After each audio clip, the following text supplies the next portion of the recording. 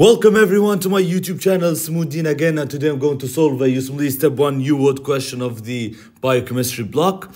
A five month old boy is brought to the office due to poor feeding. His mother says that he has difficulty holding his head up while breastfeeding and his suckling seems weaker than usual.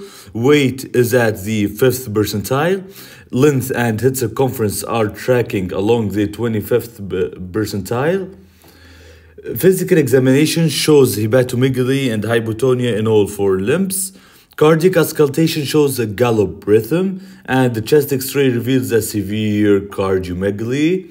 Muscle biopsy shows enlarged lysosomes containing periodic acid Schiff positive material. Which of the following enzymes is the most likely deficient in this patient?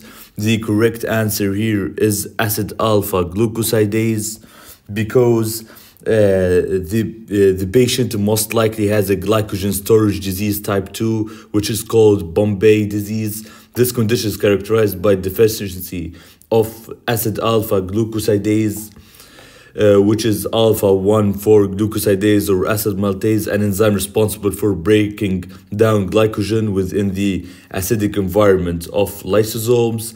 Although most glycogen is degraded in the cytoplasm, a small percentage is inadvertently engulfed by the lysosomes, especially in cells containing high amounts of glycogen, such as hepatocytes and the myocytes. Deficiency of acid maltase results in pathologic accumulation of glycogen within the liver and muscle lysosomes. Cardiac and skeletal muscles are particularly susceptible because the ballooning lysosomes interfere with the contractile function. Uh, the acid maltase deficiency present in early infancy with cardiomegaly, uh, macroglossia, and profound muscular hypotonia which it's caused by an abnormal glycogen accumulation within the lysosomal vesicles, as seen on muscle biopsy. And thank you for watching.